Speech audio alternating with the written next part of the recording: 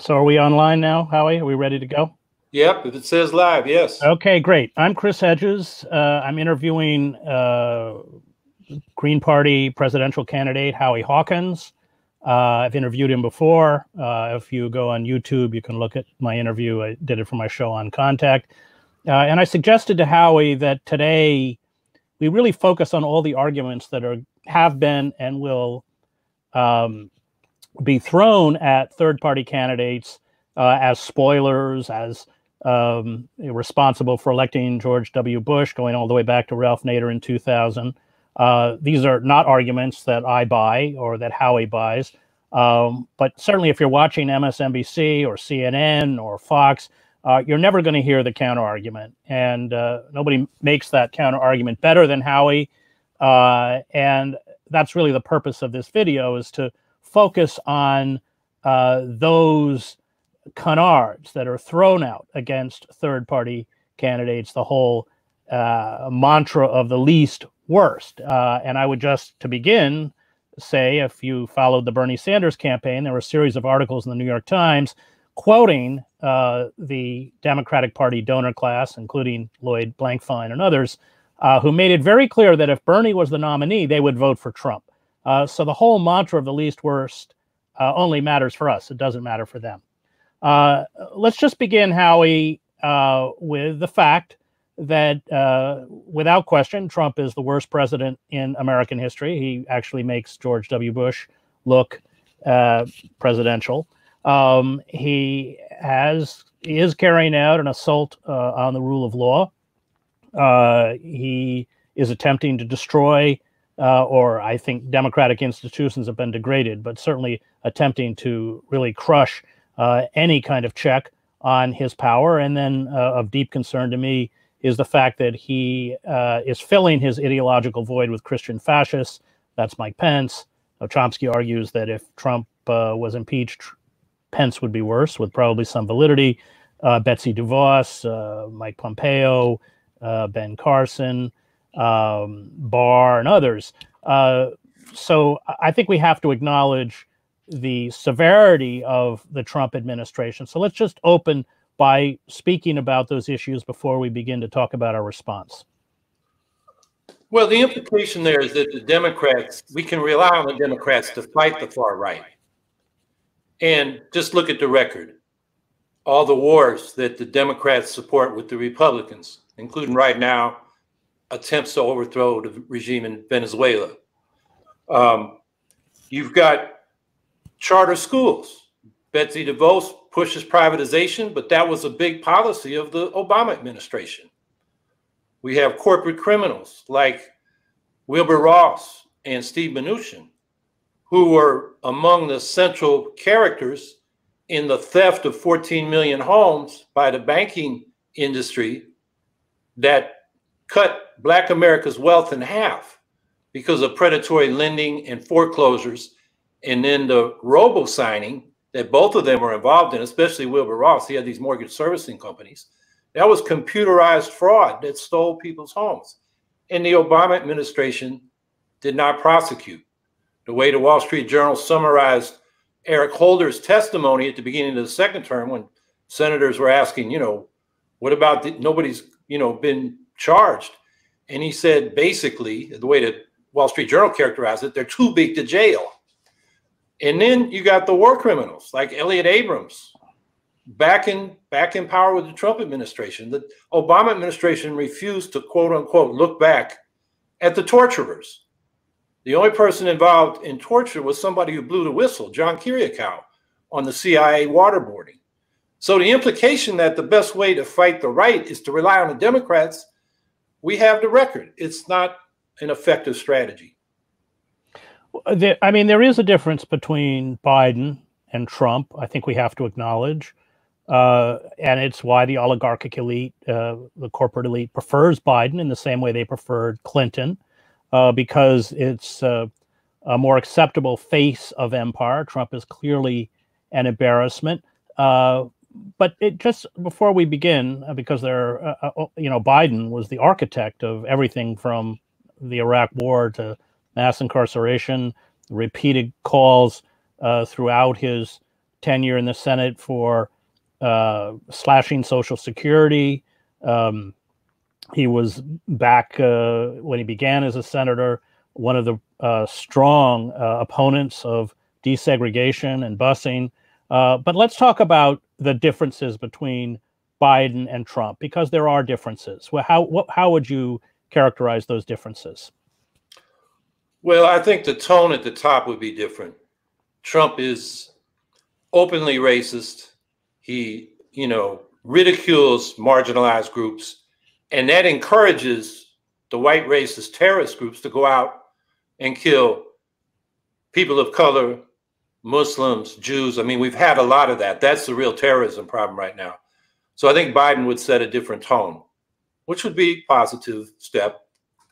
But when it gets to policy, I mean, let's take a life or death issue, the nuclear arms race that's escalating. The Bulletin of the Atomic Scientists has moved their doomsday clock the closest it's ever been to midnight. We got hypersonic nuclear weapons that now are six times faster than the previous strategic nukes. So you don't launch on warning, you launch on anticipation. And we're putting more nukes into conventional forces with a crazy military doctrine that we can use tactical nukes to quote unquote escalate to de escalate. But as Daniel Ellsberg showed us in his book, The Doomsday Machine, which he was a nuclear war planner before he was a Vietnam War planner, he knows that subject. Once the nukes start flying, it's like automated. They all go and we're over. So I don't see on life or death issues like that, from climate change to inequality, working class life expectancies are declining in this country now. That's a life or death issue for a lot of people. On those issues, Biden is not going to be that different than Trump. And I also think of Pelosi, you know, obstructing impeachment. I mean, Trump has a rap sheet a mile long, you know, from campaign finance violations, you know, to pay off, you know, those women to uh, open racism. I mean, that was the first impeachment resolution from Representative Al Green, encouraging people on the you know border patrol and ICE to break the law, Long Island police to break the law. I mean, there's so much they could have impeached him on, and they finally got around to it with that obvious case in Ukraine. But even then, instead of obstruction of justice and abuse of power, their presentation was all about Cold War messaging and a proxy war in Ukraine, which was not what people were concerned about. So, um, I, you know, there are differences, but when it gets down to the really important issues that affect us, you know, Biden is no better solution than Trump. Um, I, I, just want to talk because you raised it. I think it's important about that uh, impeachment issue. Uh, Bruce Fein and Ralph Nader, Bruce Fein, a former senior official in the Department of Justice and a constitutional lawyer, uh, they identified 12 impeachable offenses, of, uh, and the two that were chosen, as you correctly point out, uh, were, were, they would argue, the most uh, trivial.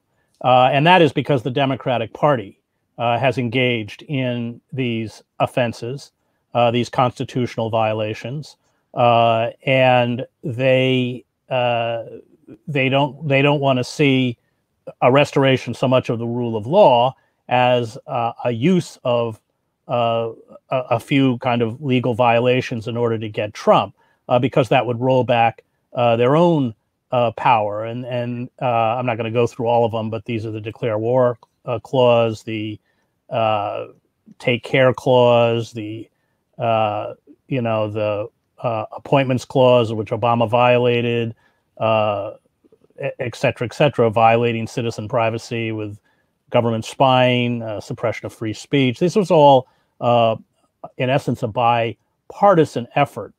Um, and uh, the other issue I want to raise, which perhaps you can speak about, is that yes, while the rhetoric of a Clinton or a Biden is uh, less offensive, uh, at the same time, these people have uh, the Clintons and, and Biden was at the center of this ramped up the uh, machinery of institutional racism. It was Biden who was at the forefront of uh, doubling our prison population, tripling or quadrupling uh, sentences, uh, including ex- uh, vastly expanding crimes that uh, merit the death penalty. He used to brag about it. it, it militarizing police, uh, all of this, and slashing welfare. People forget that under Clinton, when we destroyed our welfare system, uh, and uh, you know mostly poor people of color, but 70% of those recipients were children. Uh, this was all Biden. So while the rhetoric, uh, Malcolm X writes about this, but while the rhetoric is, of course, much better, um, the actual policies are extremely punishing uh, to African Americans and and other people uh, other people of color, especially poor people of color. Absolutely. I mean, the whole Democratic Party, including the liberals. I talked to them in the state legislature in New York, uh, candidates for Congress, and they were all down with what they were doing in the 90s. Biden, the Clintons, about uh, those laws that increase penalties for uh, drugs, and uh, there were repressive elements of the uh, anti-terrorism bill, and then the attacks on welfare. I mean, that was bipartisan. The Democrats accommodated the right in that case. That's what Clinton's called triangulation. So the idea that you know we have to support Biden to stop the right, the, the right in Biden's record, they always accommodated the right. I mean, if the left disappears into the Democratic Party, it disappears. Yeah. It's not an alternative. And people think that's the lesser evil. And so they vote defensively for it against the Republicans if they're progressive or they're black, you know, because the Republicans to black folks looks like the Ku Klux Klan. But that doesn't really change the situation. Uh, yeah, Glen uh, Ford calls the Republican Party uh, Trump's white man's party. Um, yeah. Well, they kind of are the Klan. I mean, Trump's father was a member of the Klan. Um, before I get into the issue of the tactic of least worst voting, which uh, the historical record I think quite uh, adequately exposes as utterly ineffective. I just want to tick off if you vote for Biden, what, who, you know, what policies are you voting for? Well, to start with, you're voting against the Me Too movement, uh, and you're voting for the humiliation of courageous women such as Anita Hill. Uh, you're voting for the architects of endless war in the Middle East. You're voting for the apartheid state in Israel. You're voting for the wholesale surveillance of the public by government intelligence agencies. Uh, you're voting for the abolition of uh, habeas corpus and due process. Uh, you're voting for punishing austerity programs, including, as we mentioned, the destruction of welfare and cuts to Social Security, which Biden has repeatedly called for. You're voting for NAFTA uh, and these free trade deals uh, and deindustrialization that has uh, brought about a collapse uh, of the working class, the decline in wages in real terms, the loss of hundreds of thousands of manufacturing jobs, uh, the offshoring of jobs to underpaid workers. I mean, GM opens plants in Monterrey, Mexico, uh, closes plants in uh, Anderson, Indiana. All those unionized jobs are gone, and, and Mexican workers are paid $3 an hour without benefits. And then all these trucks and cars are rolled back over the border and sold to us. Uh, you're uh, voting for, as you mentioned, an assault on public education. Uh, Arne Duncan was a huge proponent of charter schools in the Obama administration. Uh, you're voting for the doubling of our prison population, and as I mentioned, the tripling and quadrupling of sentences uh, and the expansion of crimes meriting the death penalty. You're voting for militarized police who gun down nearly 2,000 people a year, mostly poor people of color, almost all unarmed with impunity. Uh, you're voting against the Green New Deal and immigration reform. Uh, you're voting uh, for limiting a woman's right to abortion. This has also been something Biden has pushed. Uh, you're voting for a segregated public school system in which the wealthy receive educational opportunities and poor people of color do not. Uh, you're voting for punitive levels of student debt. Uh, you're voting and the inability to free yourself from that debt, courtesy of the Congress. You're voting for deregulating the banking industry, uh, including the abolition of Glass Steagall. You're voting for the for profit insurance and pharmaceutical corporations and against uh, health care for all. You're voting for these bloated defense budgets. Uh, you're voting for the use of unlimited oligarchic and corporate money to buy our elections. Uh, and you're voting for a politician, Joe Biden, who, when he was a senator out of Delaware, abjectly served the interests of uh, credit card companies like MBNA, which employed his son Hunter.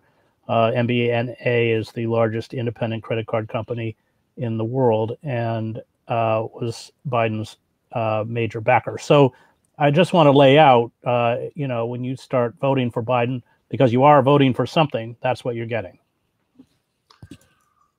Yeah, that's for sure. I mean, so when people say we got to vote for Biden to stop Trump, well, what are you getting? Getting everything that we've been fighting for. I mean, I often get told that you got to stand down in the battleground states and only run in the safe states. But for the Greens and for working class people, people of color, young people, every state is a battleground. I mean, let's just take climate.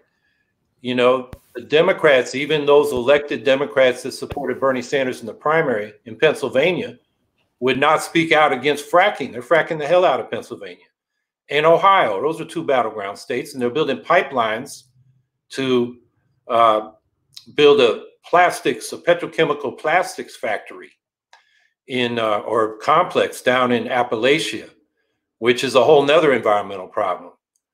Or you go up to the uh, battleground states of Minnesota, Wisconsin, and Michigan, and Enbridge Line 5 is uh, what carries the Bakken oil that's fracked in North Dakota and also Alberta tar sands oil to be refined. And they want to expand that pipeline. And it's only the Greens that are fighting to uh, not just stop the expansion, but to shut it down because we got to shut down these this fossil fuel infrastructure if we're going to deal with the climate problem. And it looks like we lost Chris.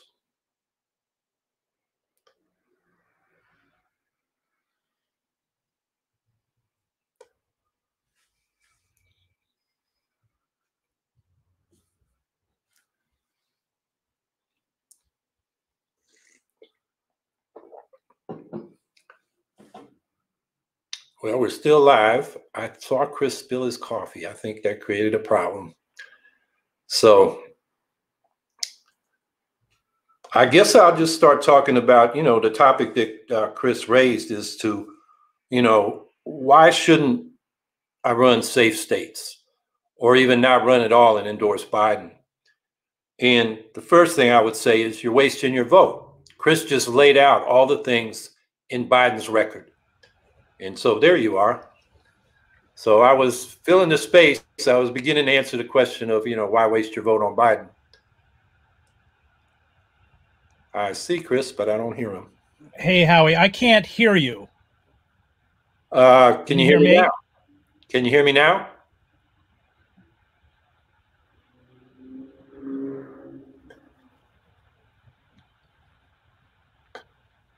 Can you hear me, Howie? I can't hear you. I can hear you. All right, I can't. I don't know what's going on. Uh,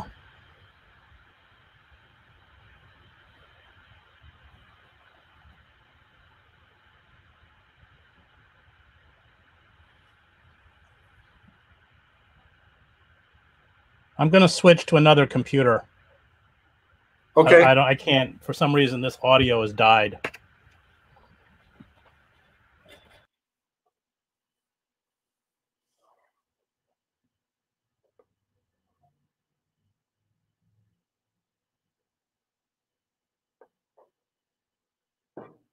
So while he's getting to his other computer, I, I was starting to make the argument of why you shouldn't waste your vote. And uh, I kind of want to save some of my argument for Chris. But, uh, you know, what I've been saying is if you're a progressive, a Sanders progressive or socialist, and you vote for Joe, Joe Biden, you get lost in the sauce. They don't know that you're what your politics are. You've affirmed what Biden stands for. And if you want to fight for Medicare for all and a Green New Deal and an economic Bill of Rights and student and medical debt relief, you should vote for the green ticket, which is going to stand for those things. Everybody knows what a green vote stands for. A Democratic vote stands for what Joe Biden stands for. And if you don't stand for that, why waste your vote? The thing you should do is vote for what you want. We may not win the office, but those votes make a difference because they can't take us for granted.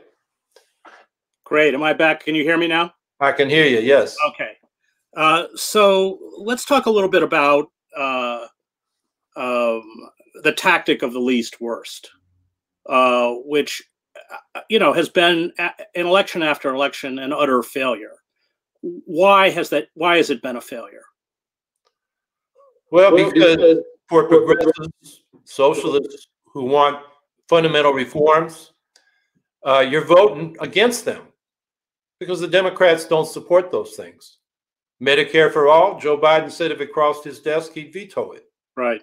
A Green New Deal, I think he labeled his pathetic climate action program a Green New Deal, but it's a it's about you know one thirtieth of what it's less than one thirtieth of what I'm proposing.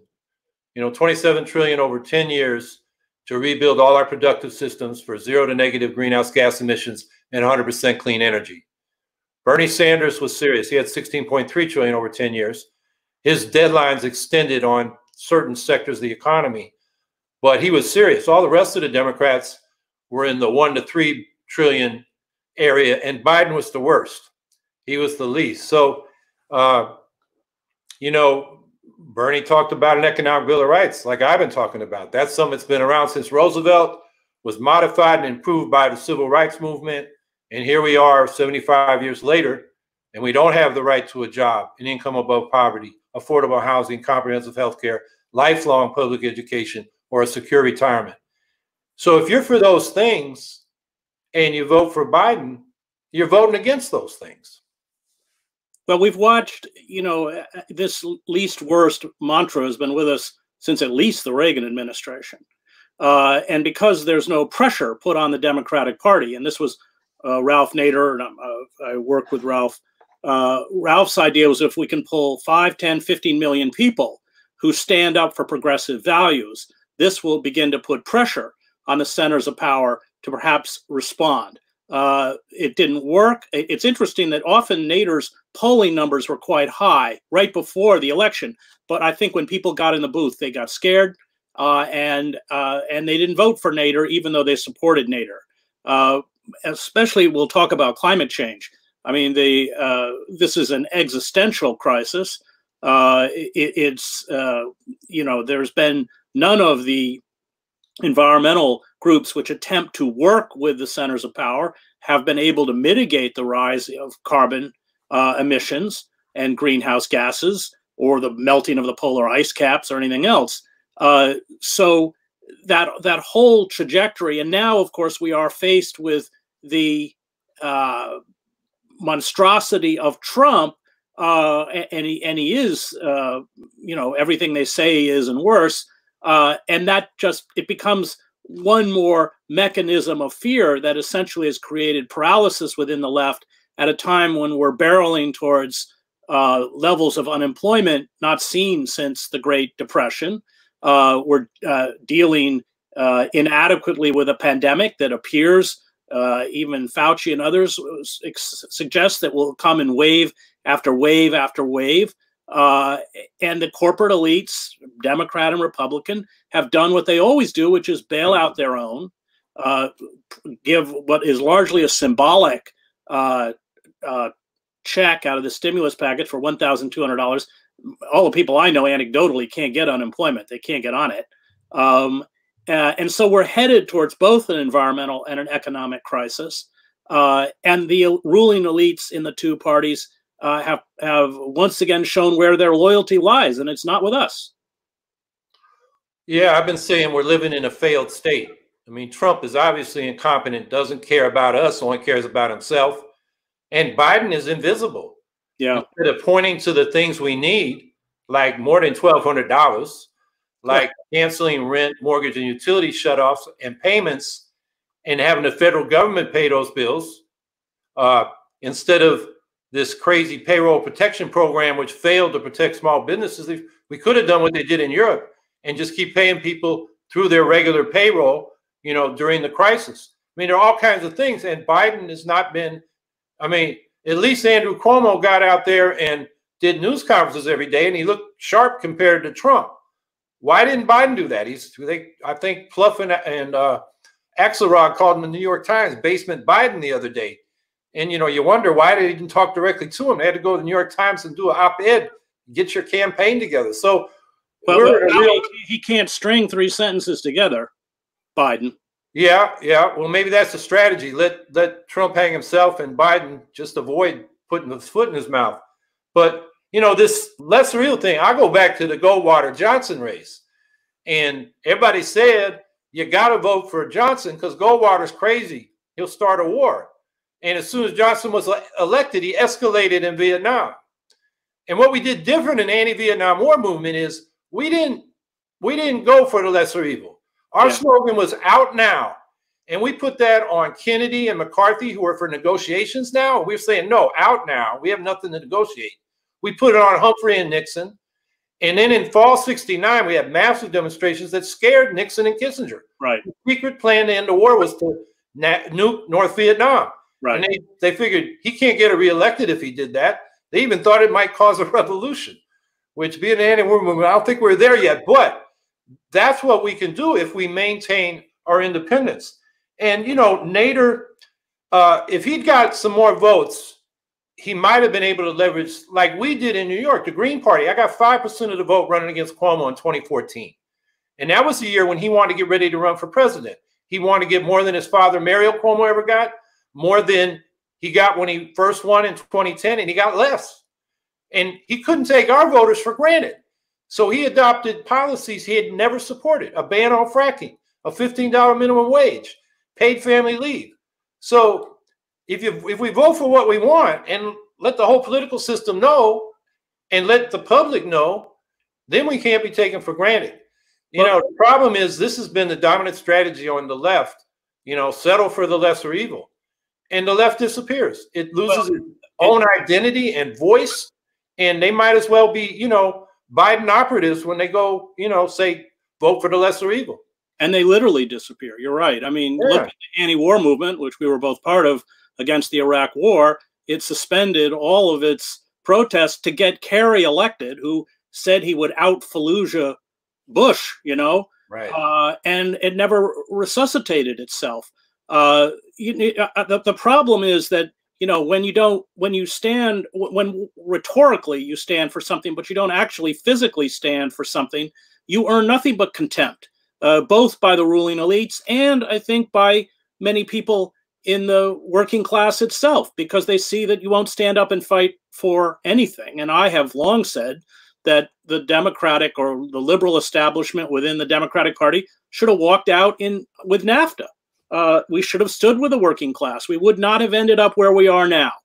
Um, I want to talk a little bit about uh, climate change because uh, again, the Democratic Party, Obama's rhetoric, for instance, was was good, uh, but he ended up drilling like Sarah Palin. Uh, and and I think that the uh, you know I think too often we're fooled by the rhetoric, and we don't actually look at the policies. Part of that is the fault of the media, which uh, you know it's all about personality and electability, manufactured personality. We should be clear, and it's there's it, there's no substance in terms of uh, actual reporting on policy uh, because there is very little difference between the Republican and the Democratic Party on all of the major structural issues, whether that's the environment, whether that's war, whether that's wholesale surveillance, whether that's trade, uh, whether that's mass incarceration or anything else. And I think that's a good example. You know, the Sanders campaign with Bill McKibben leading the delegation to the platform committee fought for a number of reforms and the Clinton people defeated them on every one, but they did get a change. They moved away from the language of all of the above energy policy, which was a euphemism for saying we're going to frack the hell out of the country and we're going to subsidize with uh, federal guarantees of the investments new nuclear power plants. And it was out of the platform for a couple years. And then in August 2018, after Christine Pelosi, Nancy's daughter, got this resolution, we won't take fossil fuel money, they came back in August and said, oh, yes, we will. And we're recommitting to all of the above. So the, the symbolic victory that the Sanders campaign got in the platform was erased. And, you know, Obama has made speeches to oil executives in Texas saying, hey, I made the United States the number one oil and gas producer. That was me. They're bragging about it. And then they turn around and say, oh, we're worried about climate change, and they wring their hands. You know, Trump says climate change is a hoax, but the Democrats act as if it's a hoax. Let's talk about the Sanders campaign. Uh, I was with Kshama Sawant. I did an event with Bernie and Bill McKibben, Naomi Klein, uh, the night before the climate march, and and uh, Kshama pushed Bernie at that time, 2016, to run as an independent, uh, arguing correctly, I think, that we were never going to build what he called a political revolution within an election cycle, and that the Democratic Party would never give him the nomination. Uh, Bernie, uh, Bernie's answer to us was that he didn't want to end up like Ralph Nader, which means he didn't want to end up a pariah. He didn't want to see the Democratic Party establishment take away his Senate seat in Vermont. Uh, he, he, although he is registered as an independent, he functions as a de facto Democrat. He has seniority. He caucuses with them. He was in line for committee chairmanships, which Schumer had promised him. Uh, he was a loyal party apparatchik, uh, you know, from 2016 to now. And of course, they turned around and knifed him in the back. Uh, and and he, you know, is shredding what little credibility he has left uh, by endorsing Biden, just as uh, his credibility, I think, was deeply damaged by endorsing Clinton. He would do events in support of Clinton. A few hundred people would show up where 10,000 people had shown up before. Um, and I think that was uh, I think that was a moral failing. I think he wasn't wrong that the Democratic Party would have destroyed him, uh, but he wanted to be part of the club at our expense. Um, how do you look at the Sanders campaign? What what lessons do you think we can learn from it? Well, I think first of all, Bernie drew the wrong lesson. Ralph Nader is only a pariah with the professional managerial class, the chattering class, the professional Democrats. I know in the backlash from those people after the 2000 election, when I went out to petition for him in 2004, if I went up to Syracuse University, yeah, I get a lot of pushback. If I went into the working class communities, the people of color communities, they said, yeah, Ralph Nader, he's for the people. Give me that petition. And and even now, I I get stuff from Ralph Nader. You know, we talk and he sends me, he's always sending information. And when I get a package and it says Ralph Nader on it, you know, the postal workers say, This is the Ralph Nader, you know, and they want to know what's in it. So Ralph is not a pariah.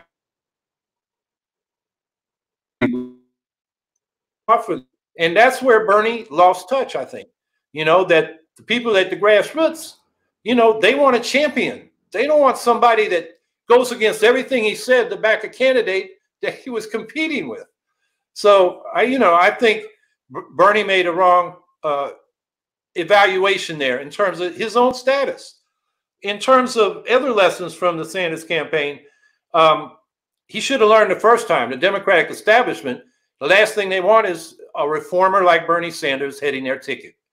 And he had the standing, he could have gone independent and he would have brought a lot of people with him and helped us establish a real party on the left. And he decided he wasn't going to do that. Um, I think that's one lesson. I think the other thing, uh, and I don't know the details of this, apparently he did a good job in terms of grassroots organizing, building relationships with uh, Mexican American groups in the Southwest. And that's why I did so good in Nevada and California with them and in Texas. But when it came to African Americans in the South, those kind of relationships weren't built. So that is more than running an electoral campaign. That's the kind of organizing we on the left got to do. We got to stop doing like in the labor movement. We do corporate campaigns and political stuff, and we don't do the kind of organizing of actual people so that they can act for themselves in strikes or whatever actions they take against the bosses. You know, instead, it's, you know, we rely on staffs, and that's hurt the labor movement. It's hurt all the social movements. And I think it hurt the Sanders campaign when he tried to run again in 2020. If people vote for Biden, and I think you probably agree, Biden is actually a very weak candidate against Trump. I think the Democratic Party establishment is quite worried. Uh, uh, you know that many people will probably stay home, uh, especially the younger demographic. Uh, uh, if people vote for Biden, how are they making the situation worse, even if Biden wins and you get rid of Trump? Well, we still don't have solutions to the climate crisis, to the inequality. And you mentioned mass incarceration and stagnant wages. The fact is, working class life expectancies have been declining. And Biden has no program for that. He has no basic set of rights that FDR once stood for, that A. Philip Randolph and Bayard Rustin and Martin Luther King marched for in 63 and the Freedom Budget in 66 and the Poor People's Campaign in 68. That's completely off the agenda of Joe Biden. And then nuclear arms. The guy's a neoliberal hawk. He has, you know, and that's an issue. Just go back to nuclear arms. You know, I mentioned, I think the Bulletin of the Atomic Scientists moved a doomsday clock closer to midnight. Why the hell isn't any major presidential candidate talking about that? It should be a top campaign issue. The last bilateral treaty with Russia concerning strategic arms expires next February 5th. And there are no negotiations going on. You know, where the hell is Biden? He doesn't have solutions. So I think it get, you know, I don't know if it gets worse if Biden's elected than if Trump's reelected, but the point is there are no solutions. And we're running out of time on the climate change. If you're in the bottom half of the income spectrum and you got to choose between going to the doctor and paying your rent or your utility bill, I mean, I know people, the guy who lived downstairs from me last year died. He's on Medicaid and he was taking kidney medicine. He decided he was going to skip it in April because he his utility bills were big because winter was over. And he paid his utility bill, didn't get his medicine, and he died of kidney failure in April. That's the kind of thing that's going on all across the country. So for those people, there isn't time to waste. And then, of course, you know, nuclear arms race, we're on a hair trigger. And, you know, at any point, by mistake or by intention, it could be the end of us. So I want to fight for solutions, not just settle for somebody that has no solutions. What do you think the with the pandemic, uh, which is clearly going to be with us for a long time, with all of the health, uh, you know, the the the assault on people's health and the physical suffering coupled with the economic suffering, how is that going to affect, do you think, the political landscape? Well, I think it's going to hurt Trump big time. I mean, he's he's presiding over a health crisis, and he, you know, I think everybody can see he doesn't know what the hell he's doing, and he won't listen to the public health experts. And you know, like I said, Biden is invisible; he's not pointing in the right direction. So I think it's going to hurt Biden. I mean, Trump more than Biden. And you know, the polls right now show Biden winning, winning in the battleground states, and you know, it's his to lose. I mean, one thing I'll say, you know, if people want to blame the Green Party for Biden losing, no, Biden has everything going his way. And he just needs to run an effective campaign and get the Democratic Party base out. And he should crush Trump. So, you know, that shouldn't be the issue. Um, so I forget what the original question was. I went on a tangent of why Biden should win.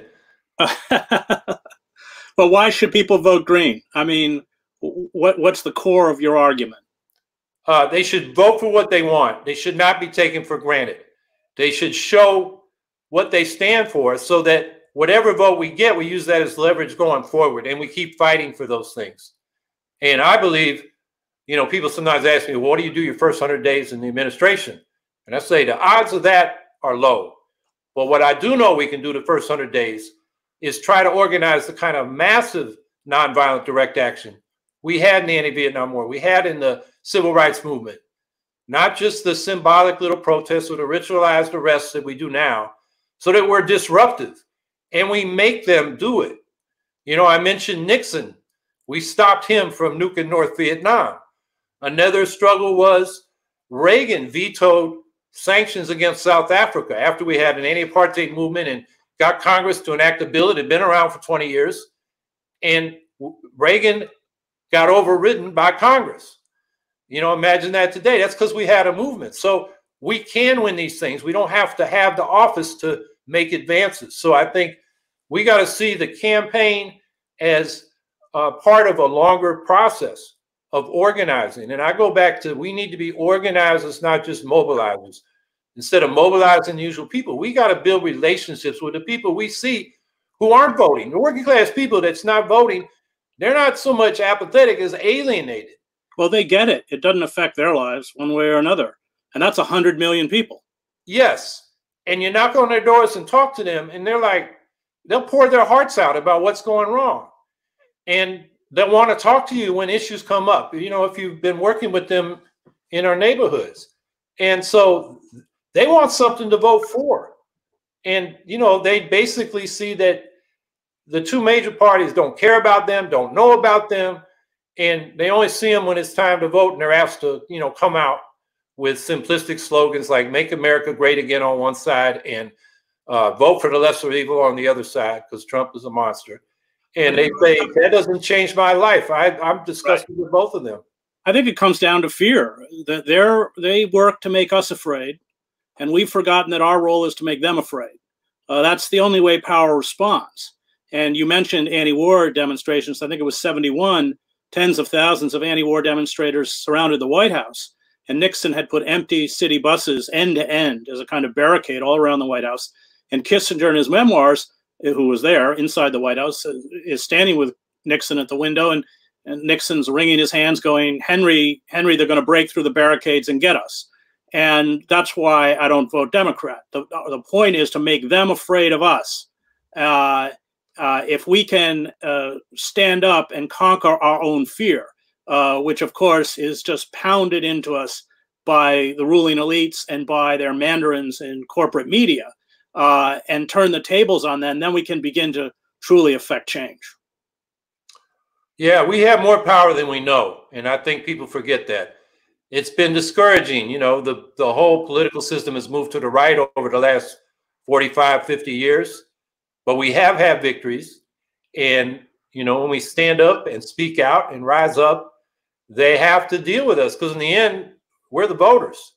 And, you know, politicians, as much as they listen to their donors and not their voters, when they're afraid the voters might not vote for them, they start listening to the voters. And that's where we have some political leverage. I'm hoping that with the rent strikes, the frontline workers who are being sacrificed on the altar of profit uh, begin to see how callous uh, the ruling elites are. Uh, they will begin to organize, uh, and and and we forget that that our weapon is the strike. Uh, that that is our weapon. It's collective. It's not individual, and it is the ability to shut businesses down, uh, to shut down commerce. Uh, that is our strength, whether it's in Amazon or Whole Foods or uh, against slumlords like Jared Kushner or anywhere else. Uh, and I think that as we uh, descend into kind of an economic misery that has not been visited on this country for many decades, you will see uh, a kind of rising consciousness uh, as to how callous these elites are, these corporate elites, and uh, and hopefully people will begin to push back in a way that we should have been pushing back a long time before, but have not. And I remember the question you asked that I, I got off on a tangent and forgot, and that was the climate and, and this All economic right. climate we're going into. I mean, we are diving into a deep depression. I mean, the payroll protection program, which was small loans of small businesses, didn't work. Big businesses grabbed the money, wasn't enough money. And small businesses who employ half the people in this country, most of them didn't have a month's worth of cash reserves. They're going out of business now. Those jobs are being destroyed. And with the whole shutdown, investors who might invest to create new jobs, they're scared to death. They're just, you know, rearranging who owns the assets we got by trading stocks and bonds. They're not investing in new productive assets. And consumers who are hammered aren't going to go out on spending sprees. They're going to hoard what they got to pay you know, essential bills if they can. So that's a recipe for a depression. And behind that, we already had a huge debt overhang in the corporate sector, the government sector, household sector. And as those payments can't be made, you might have credit collapse. Uh, we have excess capacity. So there wasn't much reason, even before the coronavirus hit, to invest in new productive capacity, which points toward what we got to do. European countries are doing some of this, not on a big enough scale, and in the package that just came out from Pelosi and the Democrats, there's none of it. And that is we need to invest in a Green New Deal to rebuild our productive apparatus for climate safety and environmental safety and 100% clean energy. So, for example, go from coke ovens to electric arc furnaces for steel and cement that doesn't use calcium carbonate, which when heated up, the, cal- carbonate goes into the atmosphere. That's 5% of the world's carbon footprint. We got to rebuild our productive apparatus. Now we have a good opportunity to do it. And our leaders in both parties, they're not even thinking that way. They're just going stopgap emergency measures Democrats want to look like they're trying to do something. Republicans are now deficit hawks again after you know running up the deficit with tax cuts. I mean, it's ridiculous. It's appalling what we're getting from the two major parties. But I think you know we need to be talking about the Green New Deal is the big public investment we need to get out of this depression we're diving into. And we have to, I think, as you have said, divert our funds from the military industrial complex, uh, which now consumes more than half of all discretionary spending and has orchestrated, I would argue, coming out of the Middle East. I spent seven years there, the greatest strategic blunder in American history, nearly two decades of endless war. Uh, we have to break the military, you know, as as uh, I think it was Alexander Berkman or somebody, you know, no, it was um, uh, Liebknecht who called the, you know, the military, the militarists, the enemy within, uh, and they are. Uh, they, uh, their power has to be broken, and those funds have to be diverted uh, to life-sustaining, life-enhancing, life-protecting programs rather than endless war and death. Yeah, I'm calling for 75% cut in military spending, getting out of these endless shooting wars, start withdrawing from 800 foreign military bases in the special ops in over 100 countries, and be the world's humanitarian superpower with the global Green New Deal instead of and make friends instead of enemies by being the world's global military empire. And uh, you're not going to hear that from Biden any more than Trump. And that you're right. That's fundamental because that's a lot of resources that we can redirect with new priorities into uh, the people's needs and protecting the, ourselves from climate disaster. Great, Howie. Thank you very much. Good luck. Thank you. Got my vote. Uh, I, I wish you all the best. Thank you very much.